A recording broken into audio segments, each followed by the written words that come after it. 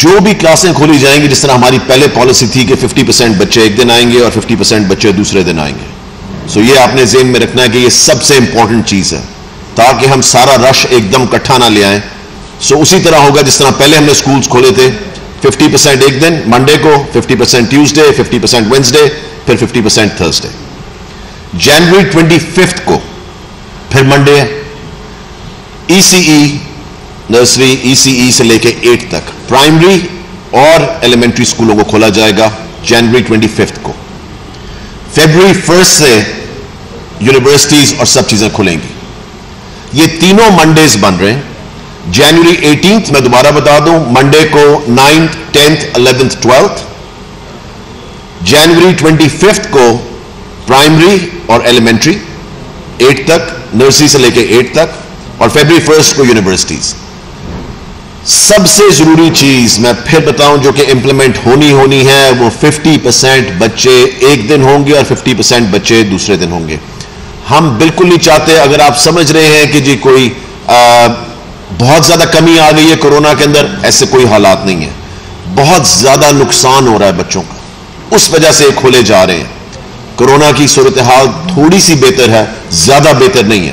مگر مین چیز جس وجہ سے کھولا جا رہا ہے کیونکہ تقریباً ایک سال ہونے کو آ رہا ہے اور بچوں کا لرننگ لاسز جتنے ہو رہے ہیں اور جتنا نقصان چھوٹے پرائیویٹ سکولز کو ہو رہا ہے، جو کہ سیونٹی پرسینٹ سے زیادہ ہیں پنجاب کے اندر، جن کی فیس پانچ ہزار سے کم ہے۔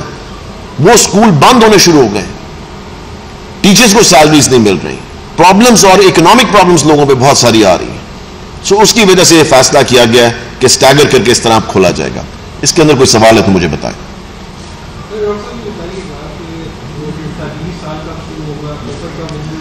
بورڈ کے ایگزامز جو ہیں وہ میں آپ کو بتا دوں کہ بورڈ کے ایگزامز مئی، جون میں جون میں چلے گئے. ان کو ہم نے آگے پوسٹ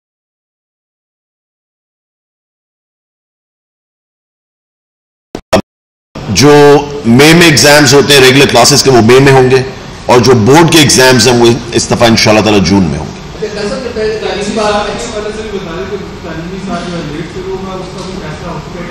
اگلا والا اگلا تعلیمی سال جو ہے آبویسلی وہ ان ایگزامز کے بعد ہی شروع ہوگا سو اس لیے۔ ہاں جی اگست میں فی الحال تو یہی اس کی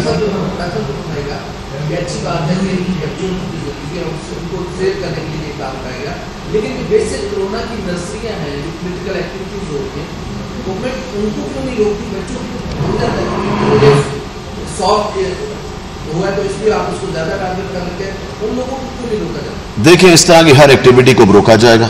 کیونکہ میں نے بھی آج بھی میں نے اس میٹنگ میں کہا کہ اگر باقی سب چیزیں کھلی ہیں تو پھر اسکول کیوں نہیں کھلے؟ اور یہی کے پی کے نے کہا، یہی سندھ نے کہا، یہ سب نے کہا کہ اگر باقی ساری جگہیں کھل سکتی ہیں تو اسکولوں کو بھی ہمیں کھولنا چاہیے، کیونکہ سب سے ضروری چیز اسکول ہے۔ آئی مین باقی چیزیں اتنی ضروری ہے جتنا اسکول ضروری ہے، کیونکہ جب اتنا نقصان ہو جائے نا ایک سال سے اوپر ہم آگے نقصان کرنے کی طرف جا رہے ہیں ان کو سالوں لگیں گے ٹھیک ہوتے ہوئے دوبارہ۔ سو اس لیے آپ دیکھیں ان شاء اللہ باقی کی ایکٹیویٹیز میں بالکل بالکل پورا کرب لگنے لگا ہے سو اس لیے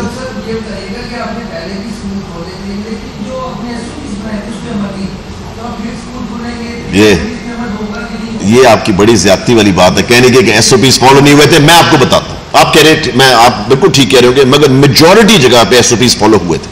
میں اٹک تک گیا اور میں ایک رینڈم سکول میں گھس گیا جو کہ پرائیویٹ سکول تھا پرائمری سکول تھا اور میں وہ ایک گھر کے اندر تھا اور کسی کو نہیں پتا تھا میں وہاں آیا ہوں۔ میں سیدھا اندر چڑھ کے چلا گیا کلاسز کے اندر، وہاں تک ایس او پیز فالو ہو رہے تھے۔ اسی طرح دیکھیں جتنی کوشش ہم کر سکیں میرے خیال سے جتنے سکولز اور یونیورسٹیز کے اندر ایس او پیز فالو ہو رہے تھے، باقی جگہوں پہ اس طرح نہیں ہو رہے تھے۔ پہلے بھی سو ہم نے تو پوری کوشش کی اور اس بھی۔ ہماری سب سے نمبر ون ایفرٹ یہ ہوگی کہ ایس او پیز کو فالو کیا جائے اور ان کی تیاری آج سے دوبارہ شروع ہو جائے گی، انشاءاللہ تعالی۔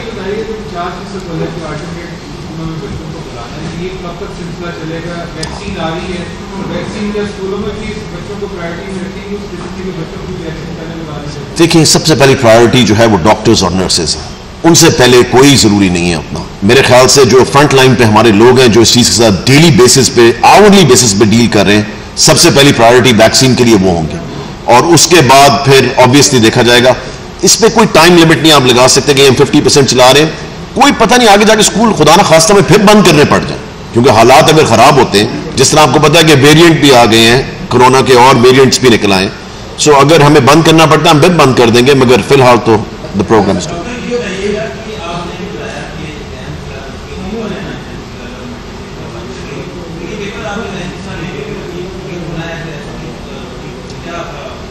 دیکھیں زیادہ سینٹرز بنائے جائیں گے نا۔ پہلے جتنے سینٹرز ہوتے تھے ہمیں اسے زیادہ سینٹرز بنانے پڑیں گے۔ آ, ہمیں اس کا پورا پلان ابھی سے ہی اس پہ کام ابھی سے ہو رہا ہے۔ کیونکہ آبویسلی اتنا بچوں نے ایگزام دینا ہے۔ آ, اس کے لیے جتنے پہلے سینٹرز بنتے تھے لیٹ سے پہلے دس بنتے تھے اب ہمیں بیس بنانے پڑیں گے۔ کیونکہ ہمیں ایس او پیز فالو کرنے پڑیں گے ورنہ بات بنے گی نہیں۔ جی ہاں۔ وہ بہت زیادہ متاثر ہوئے۔ ہیں اب ان کے ساتھ امتحان آ گئے تو بچوں کو اگلی کلاسوں میں پروموشن کے لیے کیا ہوگا؟ کچھ مارجن دیا جائے گا دیا جائے گا دیکھیں، میں نے ان کو پہلے بھی یہ میں نے اناؤنس کیا تھا کہ جو اس سوا مہینے، ڈیڑھ مہینے کے اندر چھٹیاں ان کو ملی ہیں اس کا جو ہوم ورک ہوگا وہ ففٹی پرسینٹ کاؤنٹ کیا جائے گا ٹورڈز دا پروموشن اور اس کے علاوہ پیک نے ایگزام تیار کیے ہیں جو کہ ایم سی کیوز بھی ہیں اور دوسرے بھی ہیں جو کہ وہ بچے دیں گے کیونکہ ہم وہ ہم مئی میں لے گئے مارچ کی بجائے۔ تو اس کی تیاری کر کے وہ ایگزام دینا پڑے گا۔ ایگزام کے بغیر ہم کسی کو پروموٹ نہیں کریں گے۔ یہ پکی بات ہے۔ ایک سال ہو گیا پروموٹ کر دیا، اب بھی پروموٹ کیا جائے گا کسی کو بھی ایگزامس کے بغیر۔ ٹھیک ہے؟ تھینک یو ویری مچ بہت شکریہ۔ ادھر آ جانا آفس آ جانا، ادھر بھی ٹھیک ہے۔